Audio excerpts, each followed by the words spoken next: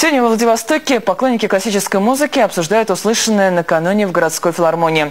Музыканты из Японии, Кореи, Германии, Канады и Соединенных Штатов сыграли там девятую симфонию Бетховена. Шедевр услышал Сергей Анцигин.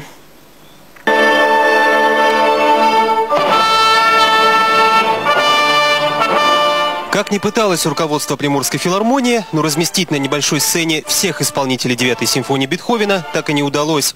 Проблему решили просто. Оркестр во главе с дирижером спустился прямо в зрительный зал. Впрочем, это далеко не единственный эксперимент, на который решились организаторы концерта. Знаменитый шедевр немецкого классика прозвучал в исполнении международного состава музыкантов. Сложнейшую партию четвертой Волторны доверили генеральному консулу Японии во Владивостоке. Опытный дипломат, как выяснилось, страстный поклонник классической музыки. Играть на Волторне господин Ямада Джун научился у себя на родине. В России талант генконсула оценили и пригласили в состав Тихоокеанского оркестра. В филармонию внештатный музыкант прибыл со своим собственным инструментом. Это очень старинная такая э, Волторна. Почти ничего не менялось с 19 века со времен Бетховена.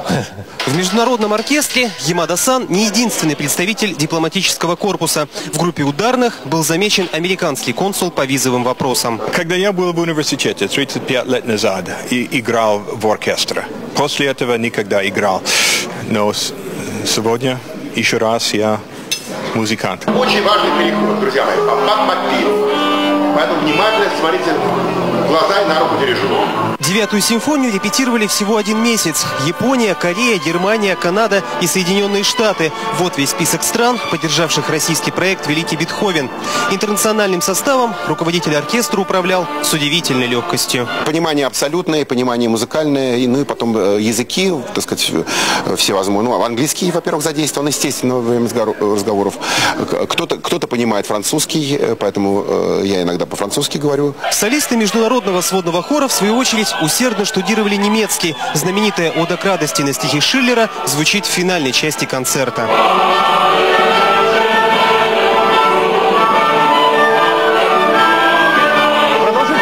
Симфонии Бетховена приблизительно 74 минуты. Не случайно именно на такой объем рассчитанный стандартный компакт-диск. По легенде, разработчики цифрового носителя были настоящими ценителями творчества немецкого композитора. Послушать симфонию можно, конечно, и на диске, но организаторы проекта решили рискнуть и не прогадали. Билеты на концерт были полностью раскуплены в самый короткий срок. Сергей Анцигин, Максим Минцев и Алексей Григорьев, телекомпания НТВ, Владивосток.